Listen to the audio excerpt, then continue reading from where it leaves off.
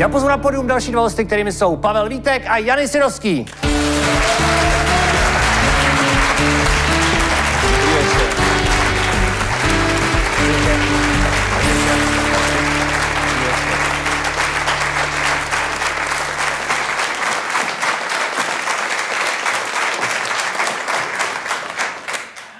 Mám uklizeno, nic nemám, dneska jsem nic nedostal.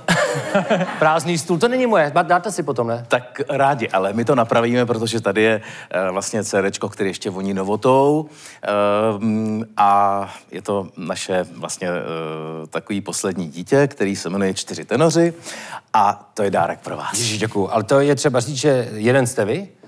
Janis není druhý tenor? Ne, Janis to vymyslel a produkuje. A kdo jsou ty další tři, kdyby náhodou někdo nevěděl, jak scháněl podpisy? Další jsou dva držitelé cen Itálie, Marian Vojtko a Honza Kříž a solista opery Národního divadla Michal Bragagnolo. To je nádherný. A jak vás to napadlo? E, napadlo mě to tak, že kluci zpívali na jednom koncertu, který jsem produkoval e, s Českým národním symfonickým orchestrem a s, e, který dirigoval dirigent od Andrej Bočeliho a potřeboval jsem čtyři hlasy na jednu muzikálovou píseň, ta se jmenovala to je ta chvíle a ten úspěch byl tak famózní a pan dirigent mi řekl, že bych eh, neměl zůstat jenom u jednoho nápadu, no takže jsem klukům řekl, že zakládám kapelu, která se jmenuje Čtyři tenoři a zbytek už eh, se odvíjel velmi rychle, protože jsme vydali CD a teď bude pozlaceno. Dal jste všechny čtyři teda? Prosím. Dáváte všechny čtyři, jako najednou ty čtyři tenory? Jo, naprosto to zvládám, jako nemám žádný zatím psychický potíže, jako všechno, všechno. tak jste, jste z domova trénovaný asi. A na, na prvního tenora jste si zvykal jak dlouho? Eh, tak prvního, vy, vy oni říkáte, prvního, jsou to divy v zásadě.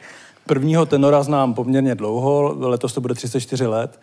Takže... Že jo, jsem udělal, když jsem to slyšel v šatně. Takže jsem, myslím, jako naprosto nezasažený eh, žádnýma manírama a Pavel je zrovna ten, který ty čtyři tenory eh, krotí, nebo ty zbývající tři krotí, aby se to nezvrhlo. No a možná je to tím, že totiž já nejsem úplně typický tenor. Já tím, že jsem vlastně absolvoval herectví na damu a vlastně jsem původně bariton, ale potom díky muzikálům jsem se musel prospívat k těm ano. výškám, tak já jsem to, čemu se říká odborně... Baritenor. Baritenor. Což nezní, není, že by zpívala rád po barech, což by se nabízelo.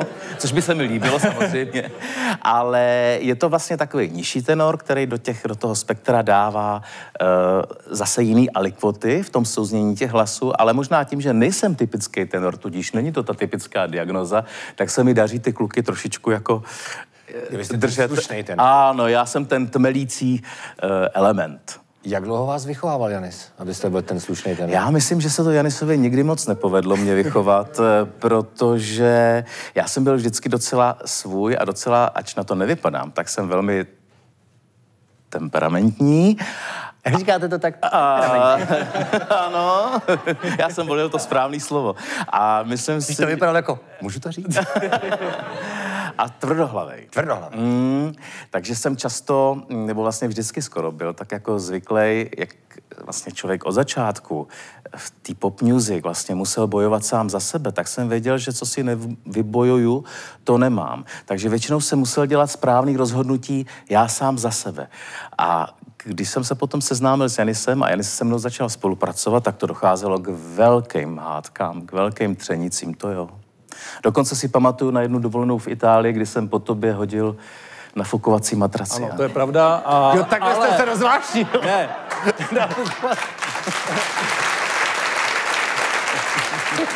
Je to, je to pravda, ale takhle vznikla písnička Mám rád voní tvý kůže, jo? Takže, takže že jsme se e, trošku Jak? prostě dohadovali. No, že jsme se dohadovali a Pavel prostě e, pak šel a napsal tenhle hit. Potom, co po vás hodil Možná matraci. je to spouštěč, nějaký tvůrčí... No já prostě tvůr... potřebuji se vždycky takhle jako naštvat, nebo já ne.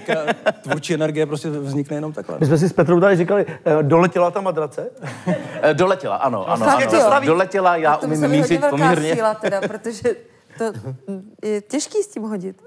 Je, ale věřte, že když... Nafukovat Ještě když to no dopadne, tak je to ještě horší. Seš, no, tak, když, když jste tak... správně v tom správném rozpoložení, že vy máte pravdu a ten druhý ne, tak zamíříte velmi přesně.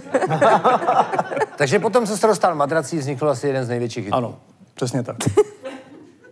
No, ale Takže teď se chystáme na dovolenou, až to půjde a zase... Takže chystáte desku, A já zase, napi- a já zase napíšu pár nějakých šlágrů, no. Rozumím, a tak to bylo napsaný přímo, ne pro vás, pro, pro Janise. To napsal přímo, jako myslíte, že pro mě to Písničku bylo? přímo pro vás, ne? Mám rád, voníte vy kůži. Ne, pozor, ta písnička má trošičku zvláštní historii, protože já, když jsem na přelomu, kolika teď to bylo? 80. Nedávno? Prostě nedávno. Čili na přelomu číslovkama tady. 80. a 90. let odešel od kapely a od svého týmu, tak jsem byl najednou vlastně bez manažerů, eh, bez koncertů, bez kapely, ale samozřejmě tím pádem i bez peněz. A já jsem to ještě nechtěl zabalit, protože mi bylo tenkrát eh, poměrně málo a říkal jsem si, že ještě bych v té kariéře rád pokračoval. Tak všichni říkali, ty potřebuješ hit, ty potřebuješ nějakou písničku. A já jsem chodil za různými autory a nikdo mi ji nechtěl napsat. Tak jsem vzal tu svoji starou kytaru, co mám doma opřenou v koutě a řekl jsem si tak a já si tu písničku napíšu sám. A musí to být písnička, u které lidi budou mít dobrou náladu a musí dělat tu dobrou náladu. No a tak vznikla píseň Mám rád vůni tvý kůže. Si se tomu smáli zpočátku, že to je Karel Gott ze 70. let, takový disco nějaký prej, takový do toho šmrnclí. Ale já jsem té písnice věřil a jsem hrozně rád, že ji věří i lidi dokonce po víc jak 30 letech. To určitě. A mě teď zajímá ten text. No tak, eh, eh, já když se tak ohlédnu zpátky, tak já vůbec nevím, já jsem taková stydlivá osoba, já vůbec nevím, kde se ve mně ty sexistické obraty berou, jo, proto jako já, to vypadá jako, že nemyslím na nic jiného, jo, ale tak eh, to tak nějak vzniklo, no. Jo, takhle. Ten se taky udržuje v kondici jenom jako sexem. A, no a když jste to teda napsal, a tak jste to asi Janisovi hrál, nebo? Jo, jo, opravdu. Jo, jo. A ja- jaký byly první reakce? No nadšený samozřejmě. No. Tak nic jiného nezbylo ani, že jo. Jasně. No.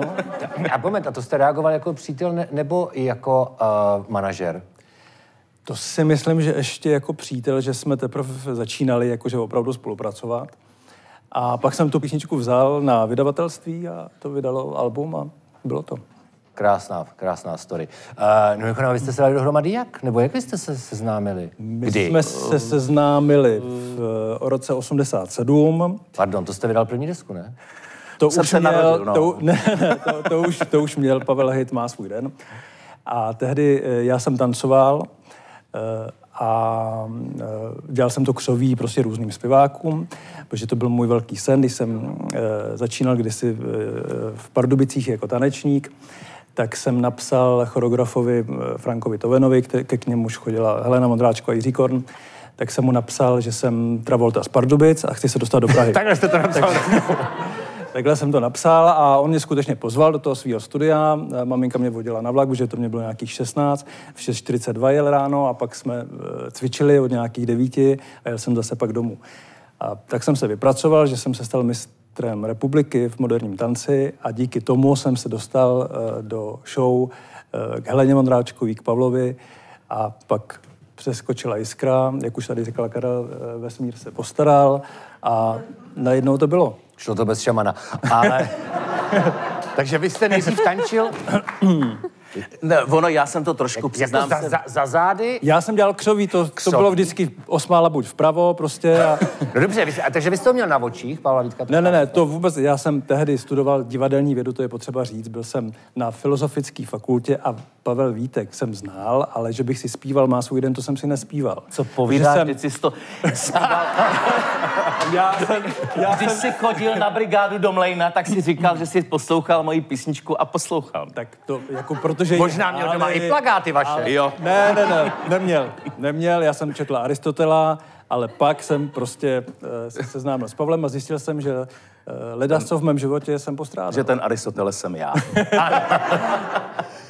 Já myslel spíš to Achilles. No ale, uh, no dobře, takhle vy jste ho měl za zády, že jo? Tak No chápu, že... právě, já teď chci říct, že, že, že tam se skutečně... Když jste se otočil, jsem chtěl vidět. vesmír postaral, protože eh, já jsem v té době byl jako takový, jakože takový ten eh, Benjaminek, takový ten objev té scény a tak jsem si jako myslel, jako, že teď už to takhle bude na furt, protože každý týden v televizi a rozumíte ty hity a furt v rádiu a tohle. No, člověk byl prostě mladý a blbej. A mm, tak jsem tak jako chtěl být připravený na, to, na tu televizi, nastudovávali jsme to taneční číslo a já jsem vždycky opravdu potřebuju mít to do posledního pohybu opravdu jako naučený, nesnáším v tomhle improvizaci. Já mám školu taneční skupiny UNO a to byla opravdu tvrdá dřina. No a tak jsem prostě jako si říkal, jo, a teď jsme sem, vypadl mi nějaký pohyb, a teď jsem si říkal, ale já už nemám být tady, já mám být někde vzadu. Tak jsem se takhle ohlídnul dozadu tam najednou byl pár tmavých očí a rozzářený takový úsměv. A tak já jsem najednou prostě věděl, že ty oči se koukají na mě a, a, a já, že se koukám do těch očí a že ten úsměv se na mě směje a já jsem si říkal, to jsou ale hezký oči, to je ale hezký úsměv. Hmm, tak, tak s tím by se mělo něco udělat, no. Jasně. A tak to začalo. No a tak to v Babičině údolí prostě začalo. A něco se tedy událo, no ale vy jste to museli mít velmi těžké, protože vy ty plagáty byly v pokojíčkách, většinou teda dívek, a to muselo být vlastně těžký. Jste byl tehdy idol dívek, no tak čemu se smějete?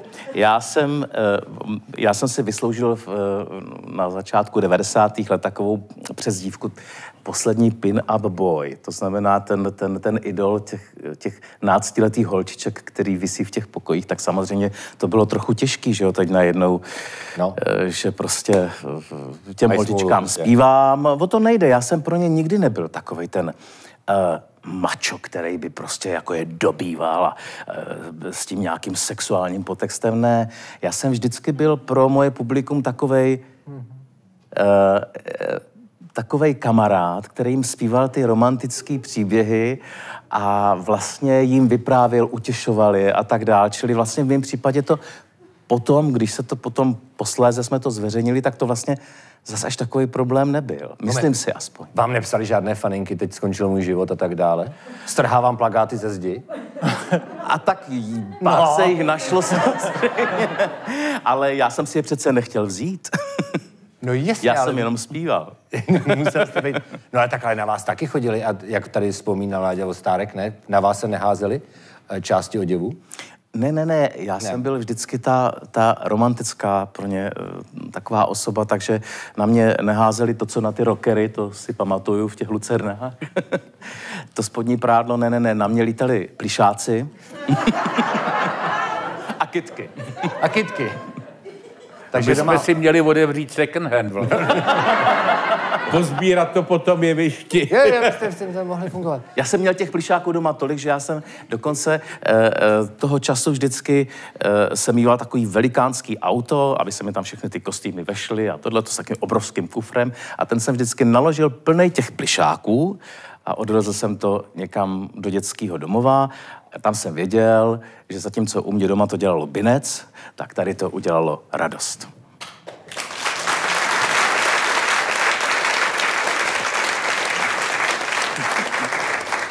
No to, je, to, to chápu. Takže vy jste přišel poprvé. Pavlovi tam bylo spousta plišáků. To bylo, to bylo. To bylo? To bylo. To bylo. No a jak jste se domluvili, že tedy budete, že to zveřejníte, že v té době na začátku 90. let nebylo ne, úplně to, jednoduché se k tomuhle přiznat. To my jsme eh, takových deset let jsme předstírali, že k sobě na veřejnosti nepatříme, že jo? Každý chodil prostě... To se pamatuju. ne, to bylo náhodou docela dotažený, protože Janis měl garsonku ve Strašnicích a já u Jiřáku na Vinohradech. A přestože jsme bydleli v, naš, v mé garsonce, v mém ateliéru takovém, tak prostě, když měli třeba přijet rodiče, tak my jsme do toho mýho velkého auta naložili všechny Janisovy kastroly, peřiny, všechno, co Všechno, prostě televizi. A televizi a odstěhovali jsme to do, to, do té Janisovy garzonky. A tam já když... jsem předstíral, že jsem prostě svobodný mládenec a že se těším, jak přijeli rodiče, to jsem se určitě samozřejmě těšil. A jakmile se zavřeli za něma dveřema, tak dveře, kastroly a... tak...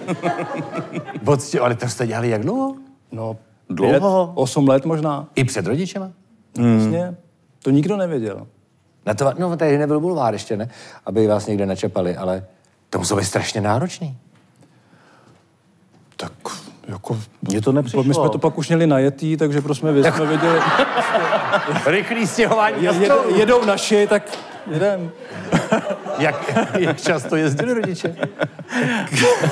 Naštěstí málo, ale pravda je, že my jsme, že teda já dneska, když se na to s odstupem času vzpomínám, tak to bylo vlastně opravdu strašně legrační, jak jsme vždycky po nějaký premiéře nebo po nějaký akci se rozdělili a řekli si, parkuju tři ulice vpravo. A nikdo to nevěděl ani z kolegů? Ne. Z kolegů to první věděla Eva Pilarová, mm. které jsme chodívali na, na e, Čínu, a takže ta, ta to neřešila samozřejmě a mm. držela tajemství prostě e, leta letoucí. Eva byla dokonce uh, jeden z lidí, se kterou jsem se radil, když to potom nějakým způsobem uh, se začalo v kapele řešit, že prostě se objevily nějaký takový jako názory, že to není pro tu image dobrý a tak dál, tak já z toho byl strašně špatný a protože najednou se mi začal hroutit ten svět, e, který vlastně fungoval ty hvězdy, jo? Že, že jsem tam měl svoji manažerku, svoji kapelu, prostě všechno ty víš, jak to, že jo, tohleto pro zpěváka je, je strašně důležitý. No a tak se... to vlastně taková familie. Ano, to, to byla moje rodina, jo. A, a, a s tou jsem ten úspěch prožíval. No tak jsem zavolal Evě a to si pamatuju, že jsem to s ní řešil někdy pozdě v noci po telefonu, co mám dělat. A Eva mi tenkrát řekla hrozně hezkou věc, jdi za hlasem svého srdce. Tak jsem to udělal a nikdy jsem od té doby toho nelitoval. Udělali se to jak? Co myslíš? Ne, jak se to, jak se to... Chápu, špatně položená otázka, ale rozdělala se mi fantazie, si to představu. Ale no ne, tak jak eh, dneska se dělají coming outy, že to někdo eh, zveřejní. Dneska na to stačí Instagram, no, ale... Jasně, tak tehdy to byl jeden bulvární týdeník, protože už samozřejmě těch bulvárních médií bylo daleko víc a už se nešlo úplně skrývat, jako mm, každý den se hlídat. A vidělo to, čím, nebo tušilo to čím dál víc lidí. Eh, takže jsme si řekli, že bude asi vhodnější, když to řekneme my, než aby to někdo zveřejnil, tak jak nechceme. Eh, tehdy už měl po kamenautu Martin Krafl, eh, mluvčí prezidenta Havla tehdejší, takže jsme se s ním radili a mm, vyšlo to, myslím, velmi dobře, protože mm, za nás se postavil tehdy, já nevím, Dan Barta, Karel Roden, Iveta Bartošová, plno našich kamarádů nebo kolegů, řekli, jako, že to je úplně v pohodě a bylo to v pohodě. To zní dneska úplně, jak se začne dávné doby, kdy to je úplně běžné coming outy, takhle to tehdy řešit a e, vy jste vyprávěl, že to e, řešilo v kapele, že, že přijdete u faninky. No ano, ano, ano, řešilo, ale, ale ono to nebylo tak jednoduché. Já si pamatuju, že vlastně my jsme se v podstatě dozvěděli, že bulvár na nás chystá nějaký kompromitující materiál a my jsme nechtěli, aby to bylo Uh, prostě zveřejněno jako, že... Jako, jako klíčovou dírkou. Jo, jako nějaký takový jako příběh, že jako ha, teď jsme je nachytali. Teď prostě vidíte, lhali vám a tak dále. Takže... No a my jsme udělali jednu věc, my jsme věděli, kdy to má vít, tak jsme šli a udělali jsme takový upřímný, myslím si, dodnes si myslím, že upřímný rozhovor a řekli jsme to vlastně v podstatě my sami. A tím se vlastně tomu bulváru vypálili rybník a uh, pak už to byla vlastně, ten problém nebyl na naší straně, ten problém vlastně byl na straně těch druhých, pokud hmm. to vůbec problém jako takhle se dá nazvat. Osuna. Ale vy jste byli jedni z prvních, kteří jste se registrovali. No tak nevím, co to je za problém, ale uh, vy jste byli první? Ne, jeden z prvních, s tím možná registrovaný partneři, ano, my jsme byli první eh, před 15 lety, teď to bude v červenci 15 let. V České republice, jaký ano. to bylo? Vy jste měli, krom toho, jste měli krásný obřad, kam jste si pozvali všechny, co jste tady jmenovali, uh, Evu Pilarovou a uh, Jolonu tam... Čákovou, Karla Gota, Moniku. A... Takhle, chyběl někdo z showbiznesu? Já myslím, že ne. Ne. Radši? To bylo 300 lidí na nádvoří na Karlštejně, bylo to krásný samozřejmě, moc jsme si to užili, Karel Gott nám zpíval Ukážu ti cestu rájem, eh, Eva Pilarová zpívala Rozoupy zvony nad námi, Lásko má stůň Monika Absolonová zpívala, mluvila Vendula Svobodová, prostě bylo to jako nádherný. Komplet to... Dokonce vám skládal verše Karel Gott, pokud vím. Ano, Karel Gott eh, řekl, když nám gratuloval, tak řekl, žijte, jak vám je vhod, to vám přeje Karel Gott. No, tak to... Takhle se píšou texty. Díky jo. Takhle krásný text. No ale já vím dokonce, že z vašeho, vaší svatby, když tomu tak budu říkat, vznikl dokument velmi úspěšný, kterým jste objeli půlku světa. Natočil, natočilo Michal Herz a jeli jsme s tím do New Yorku a do San Francisca na filmové festivaly Bylo to skutečně jak ve snu, protože jsme v New Yorku měli premiéru na 34. ulici, kde je Empire State Building, kousek od Times Square. A tehdy jsme byli taková jako senzace, protože tehdy se tam kluci s klukama nemohli brát a my jsme přijeli z té České republiky, kde už to šlo. Takže... No napřed zase. Česká Tehdy, byli jsme zase napřed, byli jsme, byli jsme napřed. No, teď už tam můžou daleko víc věcí než my tady, ale tehdy to prostě tak bylo. A e, poznávali nás pak, pod, když jsme šli na Greenwich Village, což je taková umělecká čtvrť, tak tam byli lidi z toho kina volali nás e, Pavla Jany z České republiky jako a tak dále. Bylo to jako krásný, protože ta Amerika, když e, se vám něco povede, tak vám to dá pocítit, což bylo krásný. Rozumím. No, když jsme u té Ameriky, vy jste tam měl nabídku, ale abyste tam pracoval na Broadway. Vás Já chtěli... jsem měl nabídku, protože jsem jezdím tam vlastně mm, furt eh, sledovat eh, muzikálové dění a řekli mi, že jestli chci, takže mám proto nějaké jako eh, vlohy a že bych tam mohl v tom nějakém producentském týmu na Times Square skutečně působit. Ano, to je pravda. Jste to nezvažoval? Zvažoval, no. ale pak jsem si řekl, že tady mám Pavla a že nechci lítat každý měsíc z New Yorku na Karlštejn a že budu radši tady. To nemohl jet Pavel s vámi? Tak tam... Víte, co, jak lítají ty hokejisti určitě, třeba s tou maminkou a plavaří? Nebo... Mohl, ale NH, NH, ne, NHL se tam, eh, jako v, v showbiznisu se nehraje, tam musíte, mít, eh, musíte být v odborech, musíte mít povolení, abyste tam mohl eh, pracovat jako umělec. Takže by to nebylo úplně snadný. Takže si myslím, že jsem se rozhodl správně. Takhle. No mimochodem, když jsme u, to, u těch kariér, vy jste studoval DAMu, mm-hmm. jedním z asi nejsilnějších ročníků. My jsme byli dobrý ročník, no. Jste byli hodně dobrý ročník, tak na mátko už budeme jmenovat. Karel Roden. Karel Roden, Eva Holubová, Ivana Chýlková, Vilma Cibulková, Veronika Žilková, Jitka Sterová. Jako byli jsme fajn ročník a bylo nám spolu fajn. To se eh, nepodaří každý rok. No a dělali jsme dobrý divadlo. Dělali. No a vás eh, to nemrzí, že jste nezůstal u té herecké profese, myslím? Uh, mě to herecké. pronásledovalo v podstatě celou tu druhou polovinu 80. let, protože u mě to byl vlastně eh, velice rychlý tím, že já jsem skončil damu, uh, absolventskou roli kouzelníka Arnoštka z Vančurova rozmarného léta, což bylo úžasný, to byla nádherná role. A teď najednou jsem nahrál to, že má, má svůj den, že má sedmnáct. A já jsem to spíš bral zpočátku jako takový, no tak dobře, tak vždycky si chtěl zpívat, tak to, tak jo, tak si to vyzkoušíš. A on se z toho přes noc stal opravdu megahit, jako opravdu velký šlágr a zamířil do čela hitparád a tak dál a najednou se točilo spoustu televizí a najednou se jelo 10 eh, koncertů, 15 koncertů, 20 koncertů měsíčně a ty kola toho show biznisu se tak roztočily, že já jsem někde asi v tom věku omámen tím, tím, tím fantastickým úspěchem a ono fakt najednou to je taková darda, taková facka, že prostě najednou všude, kam člověk přijde, tak vás poznávají, máte pořád nějaké nabídky. A navíc mě to bavilo, jo. Mm-hmm.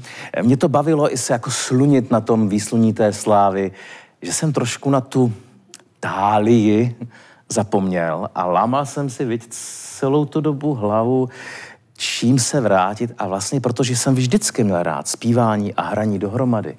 Ale tehdy nebyly muzikálové školy. Opravdu tehdy ne. Jasně. Tak eh, když pak přišel konkurs na muzikál Drákula, kde mimochodem Janis vlastně eh, v, v tom týmu vlastně eh, pracoval, tak jsem na ten konkurs prostě šel a tam jsem se vlastně obloukem vrátil eh, k, k, tomu, k tomu divadlu a už jsem u těch muzikálů vlastně zůstal. A velmi úspěšně. Mimochodem, kdy jste teda začali, kdy jste stal z vás manažer? V 92. když, bylo, když byl hit Mám rábonitý kůže. Já jsem tehdy už netancoval, protože jsem tu nohu už nezvedl tak vysoko, ano. takže jsem uh, hledal, co bych dělal jiného a s chodou okolností Pavel tehdy uh, měl teda, uh, začínal mít ten hit uh, další a Karel Svoboda mi nabít eh, spolupráci na eh, muzikálu Drákula.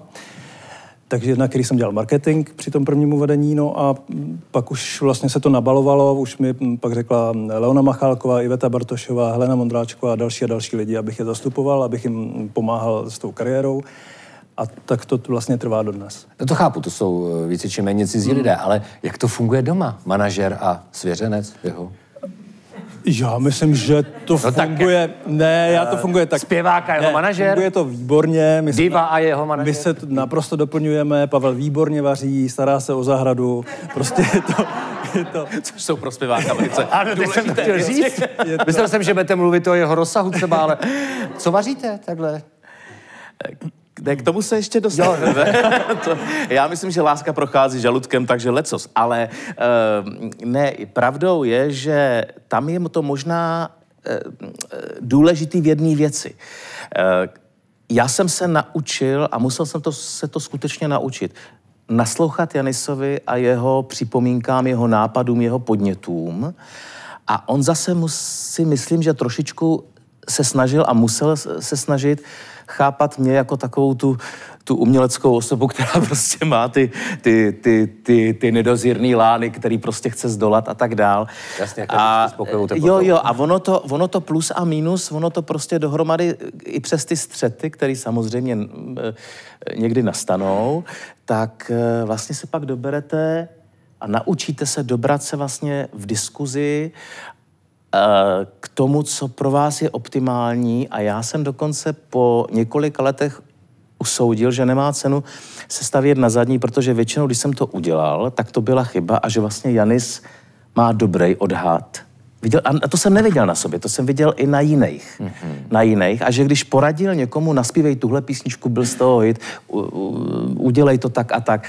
Takže jsem se naučil Janisovi naslouchat, zvažovat ty jeho e, připomínky a uvádět je do praxe. A to si myslím, že je hrozně důležitý, protože člověk, když se za, zahledí jenom sám, sám do sebe a do svý, jako, jako do, do toho svého uměleckého snažení, tak to je jedna, to, to je jeden, jedna věc, jo.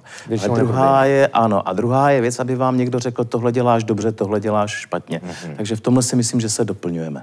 Říkal to dobře nebo špatně? říkal, to, říkal to výborně a je to ale obohacující pro nás oba, protože samozřejmě my si to děláme legraci z těch, z těch div a z těch manírů, ale mně se to moc líbí a já to, já to chci, že jo, takže to je na, u všech, Chcete, aby měl u všech nejenom u Pavla, ale i u těch tenorů, u všech těch zpěvaček. Já samozřejmě to vyhledávám a vždycky jsem snil o tom, že budu mezi něma, takže se mi to splnilo. Janis je totiž úžasný producent a manažer v tom, že on má pro nás a pro naše slabosti, když to tak řeknu, prostě pochopení. Jo? A že ho to nevyhodí, já, já už bych nás dávno všechny pozabíjel. No právě. Ale to, to, to mi řekněte, kdy jste chtěl naposledy pozabíjet. My neříkejte, že nemají maníry, za které byste vraždili? Ne, já si myslím, že ne, že v Česku to tak není, že by někdo byl vyloženě jakože nesnesitelný, tak ty abych s ním nedělal, kdyby takový uh, byl, takže... To si můžete dovolit u těch cizích, ale ne asi u Pavla, že? Ale Pavel takový není. No jasně, ale kdyby byl, kdyby ne, chtěl, nevím Janis co? vyžaduje teda nekompromisně jednu věc, uh, a sice pracovní nasazení a pracovní morálku. To třeba já si v jeho projektech nedovolím třeba přijít nepřipravený, tak já to teda ne, nikdy si to nedovolím, jo, ale u něj zvlášť, ať už to třeba bylo, když šéfoval pořadu jisté televize, nebo, nebo když e, dělá ty svý velký koncerty typu Královny popu a tak dál a já mám tu čest tam hostovat, tak e, na akce tohoto typu já se připravuju ne třikrát, ale desetkrát poctivěji, protože vím, že nesmím, nesmím zklamat. Tak víte, že byste doma dostal, že jo? No právě. to, by, to by asi nedostal. Ale je pravda, že samozřejmě Pavlova e, pozice v, například v těchto projektech nebo v Noci na Kalšteně, kterou, kterou produkuju šestý rok, tak e, musí být e, velmi připraven a velmi profesionální, protože všichni ostatní by řekli, no jasně, tak to víš, si to doma řeknou, tak no, ten, ten nemusí, že jo. To je jasný. Takže naopak jako se musí o to víc snažit. No. Uh, jak teda vaří, nebo jak je to s tím vařením? No tak s vařením. ne, vař, takhle. Začíná mi dostávat hlad. Já myslím, že vaříme oba dobře. Vaříme oba. To je potřeba říct. Ale vy to o sebe říkáte víc. Uh, no ne, ne, ne, ne, ne. My vaříme oba, ale myslím, že jsme možná trošičku, eh, že si každý z nás myslí, že vaří dobře. Bez Takhle, smyslu, líp Pavel si ten... myslí, že vaří líp, ale je to pravda. To není pravda, ne, to, ale je, prosím tě. To... Ne, je, Ty vaříš výborně. je, je pravda, že, že určitý věci mi jdou líp. Třeba indickou kuchyni si myslím, řeckou samozřejmě umím. Do, A proč bys uměl líp indickou? Já ji umím taky indickou. To není... uh, tak Dobře, tak to řeckou, tak tu řeckou ale připustíme, ne? Dobře, řeckou. Řeckou by mohl Řeckou, jo, řeckou, jo. Indickou. Indická je plichta tak, teda. Pavel je uh, Já myslím, že umím víc chválit, když Pavel uvaří. Když uvařím já, což bylo třeba teď o víkendu, tak když vzal první sousto, vařil jsem zrovna Baltiku, že to je indický recept, tak říkal, jako není to špatný. A pak, když, když druhý den jsme to uh, jedli, že jsme dojídali nějaké uh, jídlo z, z druhého dne, tak říkal, člověče, ono se to rozleželo a musím říct... Druhý den se mu to rozleželo. takže, takže já chválím hned, Pavlovi to samozřejmě chvilku trvá. No, tak to musí po všech uměleckých stránkách zhodnotit, to je, to je jasný. Mimochodem, já jsem dohledával, kdo z vás je starší. Prosím? Dobrý. Kdo je starší? Kdo byste řekl? E, vašte slova. Tak je nám dohromady 111. Nejmíň. To nebudu dělit. No to jsem dohledával. A vyšší je z vás kdo? Vyšší jsem já, to je vidět, to nemůžeme, A s tím věkem, a to ono totiž blbě k dohledání jsem koukal, to nějaký záměr. to se nedá najít. Nedá právě. No, mě to trvalo dlouho, než jsem ty stopy zamet, ale Chápu. A- u Jany se to s tom jako po- potom pomáhal, jak to jako zamíst taky. Aby to nebylo vědět. Tak úplně na závěr, vy bydlíte kousek od Karlštejna. Už jste někdy strávili noc na Karlštejně? E, Trávíme ji tam každý léto v, už šestý rok. Jako přímo na hradě. přímý- jako přímo přímo noc na že Karlštejně. Nevím, spali? tam zpíváte to. Ne, ne, ne. Přímo noc na Karlštejně si už Ne. někdy zažili. ne, Jestli myslíte na hradě, tak ne. No na hradě, no tak kde jinde. ne, ale je to takový můj zatím nesplněný sen, protože jednou, když jsme byli u Kastelána na návštěvě, tak někdy e, po půlnoci jsem zaslechl z půdy zvuky a tak jsem se ptal, co to je a zcela vážně jsem, mi bylo řečeno, že to je místní strašidlo a mě tyhle ty věci hrozně lákají, ale... Ta je na šamany, takže v pohodě. No, a, ale, ale jako slyšel jsem to, to mi nikdo nevymluví, takže vím, že tam něco je, tak, tak bych chtěl někdy hm, tu noc tam strávit. A e, já se těchto věcí moc nebojím, jo, ale, ale chtěl bych trošičku jako tak jako vyzkoušet svoji odvahu a, a i tomu přijít malinko na kloup, jo, protože ten Karlštejn totiž, to je tak, to je tak mystická stavba. Je, je, má, to, má to velkou magii, my chodíme vždycky před sezónou, než hrajeme Noc na Karlštejně, chodíme poprosit Karla IV. do té jeho kaple, celý soubor a vím, že teda to, nemůžu to zakřiknout, ale ještě nám nikdy nesprchlo tak, že bychom museli rušit představení a trvá to 6 let. Pavel Vítek, Jany Sirovský. Našimi hosty byl Karel Zima, Petra Řebíčková, Ladislav Ostárek, Jany Sirovský a Pavel Vítek.